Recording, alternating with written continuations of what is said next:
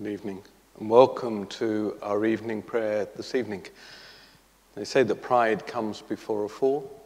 Having arrived a little late, it's been a busy day. I managed nonetheless to get the sanctuary um, put back from the funeral that we'd celebrated this morning with its colour of purple into the gold for this celebration of the chair of St. Peter. And I was stood in the sacristy thinking uh, how quickly, how effectively I'd managed that and I suddenly realized that the music had stopped and that I was late. So I apologize. For Peter, of course, uh, he too had the experience, except for him, as it were, the failure almost comes first.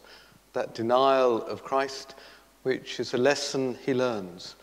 He is then invited three times to affirm his love of the Lord. And it's that strength which enabled him to go on uh, to minister to his brothers and sisters, to encourage them, the role that has continued to be exercised from that chair of Peter ever since. This evening, during this evening prayer, it's appropriate that we pray for Pope Francis. We pray that he may find that strength to continue uh, to bring us, uh, his brothers and sisters, to the Lord, to continue uh, his ministry to focus uh, the whole work and life of the church on that proclamation of Christ's presence to the world. So begin this Mass, uh, begin this Mass, begin this evening prayer. We recognize that that was the great gift and strength of Mary, who accepted her vocation, who lived it out with extraordinary strength.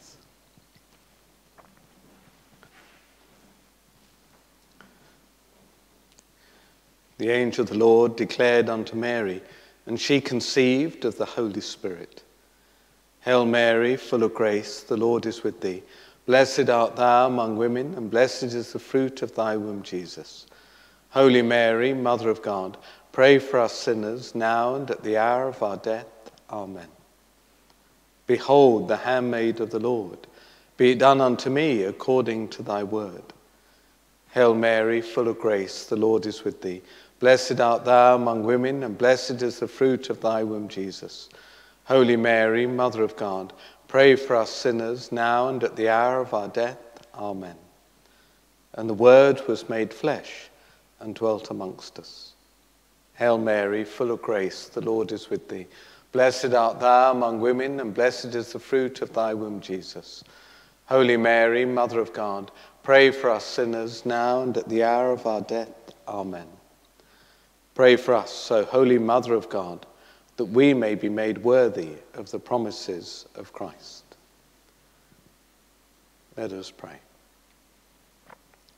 Pour forth, we beseech, O Lord, thy grace into our hearts, that we, to whom the incarnation of Christ, thy Son, was made known by the message of an angel, may, by his passion and cross, be brought to the glory of his resurrection through the same Christ our Lord.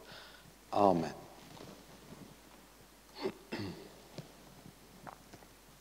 o God, come to our aid. O Lord, make haste to help us. Glory be to the Father, and to the Son, and to the Holy Spirit, as it was in the beginning, is now, and ever shall be, world without end. Amen.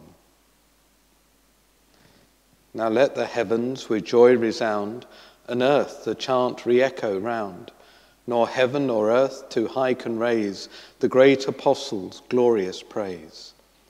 Theirs was the steadfast faith of saints, the unconquered hope that never faints, the perfect love of Christ to know, that lays the praise of this world low. In them the Father's glory shone, in them the Spirit's will was done.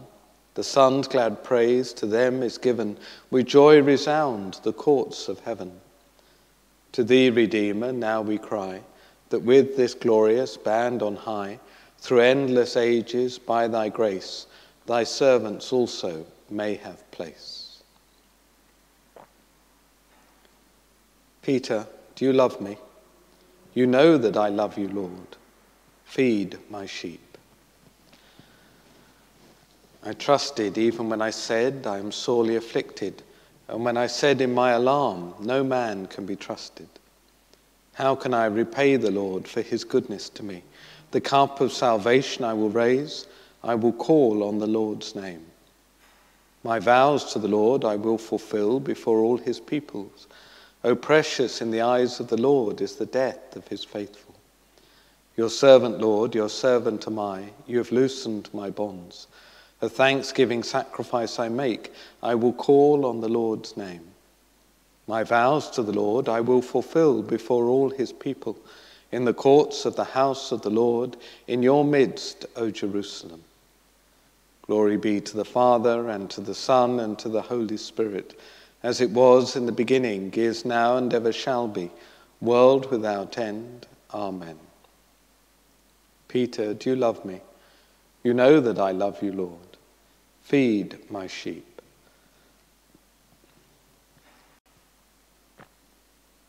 While Peter was held in prison, the church prayed unceasingly to God for him. When the Lord delivered Zion from bondage, it seemed like a dream. Then was our mouth filled with laughter, on our lips there were songs. The heathens themselves said, What marvels the Lord worked for them! What marvels the Lord worked for us! Indeed, we were glad. Deliver us, Lord, from our bondage, as streams in dry land. Those who are sowing in tears will sing when they reap. They go out, they go out full of tears, carrying seed for the sowing.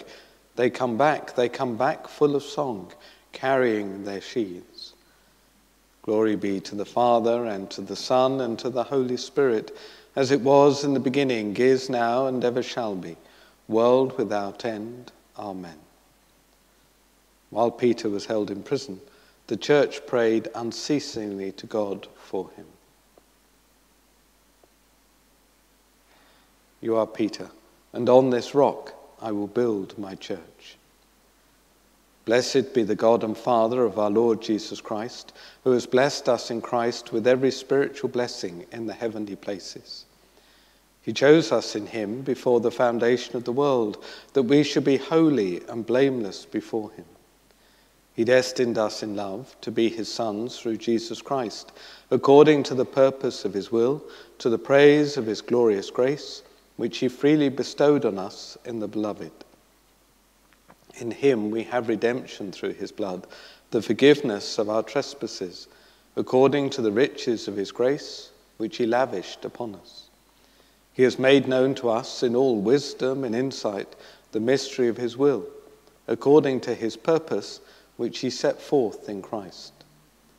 His purpose he set forth in Christ as a plan for the fullness of time to unite all things in him, things in heaven and things on earth. Glory be to the Father, and to the Son, and to the Holy Spirit, as it was in the beginning, is now, and ever shall be, world without end. Amen.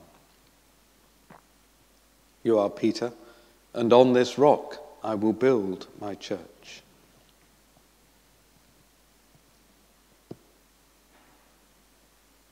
Blessed be the God and Father of our Lord Jesus Christ, who in his great mercy has given us a new birth as his sons by raising Jesus Christ from the dead, so that we have a sure hope and the promise of an inheritance that can never be spoilt or soiled and never fade away because it's been kept for you in the heavens.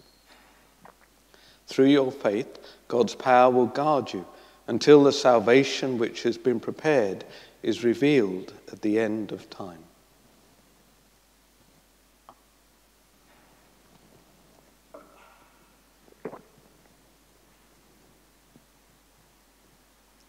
Tell of the glory of the Lord, announce it among the nations. Tell of the glory of the Lord, announce it among the nations. Speak of his wonderful deeds to all the peoples. Glory be to the Father, and to the Son, and to the Holy Spirit.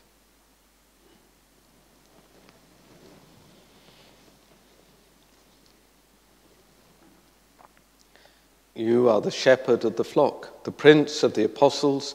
To you were given the keys of the kingdom of heaven. my soul glorifies the Lord. My spirit rejoices in God, my Saviour. He looks on his servant in her lowliness. Henceforth, all ages will call me blessed. The Almighty works marvels for me, holy his name. His mercy is from age to age on those who fear him. He puts forth his arm in strength and scatters the proud hearted. He casts the mighty from their thrones and raises the lowly. He fills the starving with good things, sends the rich away empty. He protects Israel, his servant, remembering his mercy, the mercy promised to our fathers, to Abraham and his sons forever. Glory be to the Father, and to the Son, and to the Holy Spirit, as it was in the beginning, is now, and ever shall be, world without end. Amen. You are the shepherd of the flock, the prince of the apostles. To you were given the keys of the kingdom of heaven. Since we are part of a building that has the apostles for its foundation, let us pray to the Father for his holy people. Lord, remember your church. Father, when your Son rose from the dead, you showed him first to the apostles. Let us make him known near and far. You sent your Son into the world to proclaim the good news to the poor. Grant that we may bring his gospel into the darkness of people's lives. You sent your Son to plant in our hearts the seed of imperishable life. May we labor to sow his word and reap a harvest of joy. You sent your Son to reconcile the world with yourself by the shedding of his blood. Let us become his fellow workers in restoring all to your friendship. You placed your Son at your own right hand in heaven Receive the dead into the happiness of your kingdom.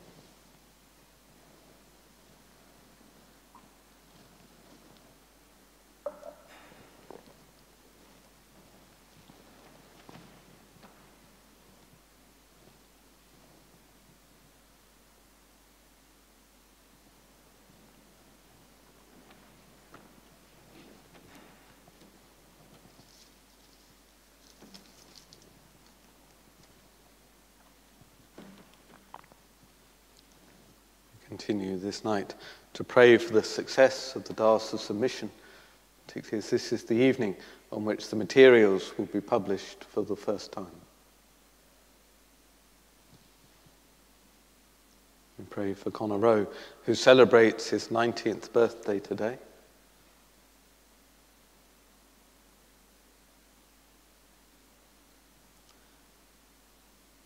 Funeral here earlier reminds us to pray again in thanksgiving uh, for the stewards who make it possible for people to gather, the IT team who made it possible for family and friends to be here too. We pray for Peter, who asks that we join him in prayer, and that's a difficult situation. Elizabeth asks that we might pray for Sarah and family are distressed by ongoing medical problems and work issues. We pray for the success uh, of Felicity in her continuing study and formation.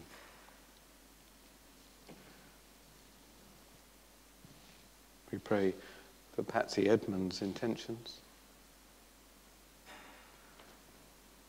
We pray for the work of CAFOD in this week of the Family Fast Day and of the Walking Challenge. We pray for all those, uh, our brothers and sisters in need of our support. We pray for Stephanie Webster, who's admitted into the Royal Surrey Hospital with a heart attack. We pray for Father Brian, also in hospital. Pray that he may know that the Lord is with him. We pray for the success of Isabella's operation uh, on Wednesday. Pray for all those in hospital, those suffering with COVID. And we continue to pray for Concepcia, Teresa, Paul, Fatma, Bernard, and Jean Bus.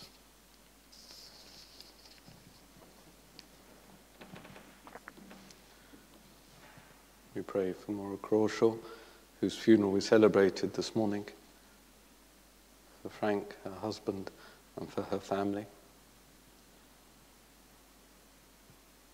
Debbie asks that we might pray for the soul of Madeline Waterman.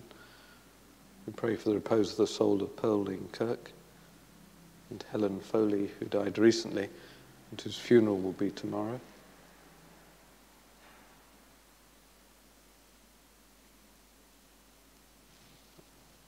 Continue to pray for Mary, for Chiara, for Maura, for Alan, for Salvatore, for Jack, for Timothy, for Father Ray, for Malcolm, and for Father Martin Jacobus. We pray for all those who've been bereaved, particularly remembering parents who've lost a child.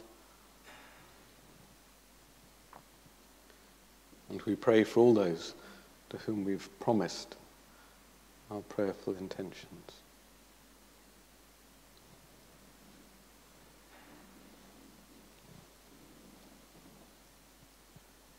Our Father, who art in heaven, hallowed be thy name.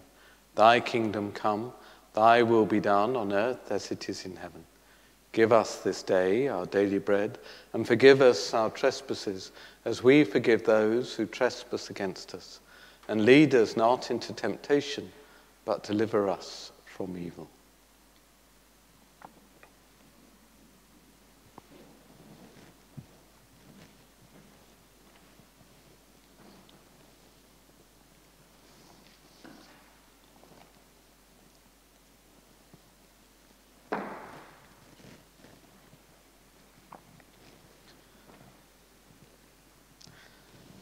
Let us pray. Almighty God, as you built your church on the rock of Peter's faith, grant with such a firm foundation we may hold fast in every storm. Through our Lord Jesus Christ, your Son, who lives and reigns with you in the unity of the Holy Spirit, one God, forever and ever. And the Lord be with you. And may Almighty God bless you, Father, Son, and Holy Spirit. I mentioned a reminder this evening at 8 pm the diocesan material for our reflection this coming week will be published on the diocesan website abdiocese.org. Also, we, we wanted to mark out the days of these weeks during Lent with a particular devotion or focus each day so this evening, Mondays at 7 p.m., uh, there will be rosary prayed from here, and therefore we won't have a decade of the rosary now. For those who wish to continue in the Zoom group, of course, you're, you're very welcome to do so. It won't be switched off, it's still there uh, for you. So if you wish to gather in that group and pray, uh, please do. We'll invite others to come and to join here. Perhaps those who wanted to be more private uh, in their rosary that you might come and be uh, in that time of prayer as we reflect on the extraordinary uh, gifts that we receive from the Lord. And we pray together finally, uh, thanking uh, God for the great gift we have uh, in the example of Mary. I think the anthem during uh, Lent is meant to be different. I apologize. This is the only tune that I can half get my tongue around.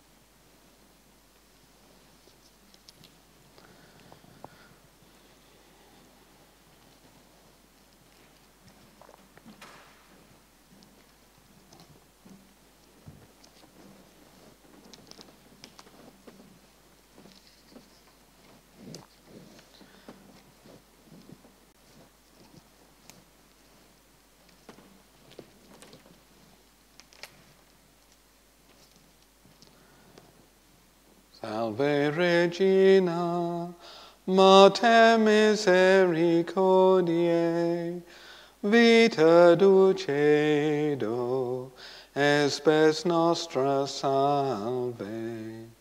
A te clamamus, exules filii Eve, a te suspiramus, gementes et flentes, in hac lacrimarum valle.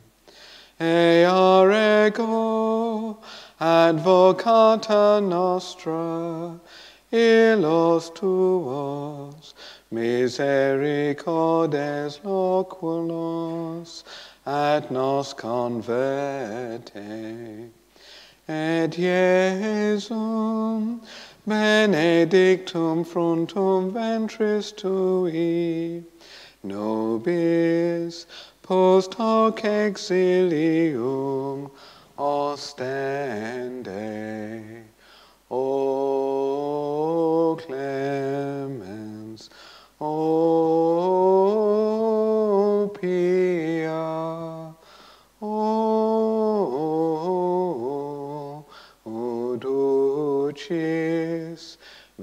Virgo Maria. Pray for us, O Holy Mother of God, that we may be made worthy of the promises of Christ.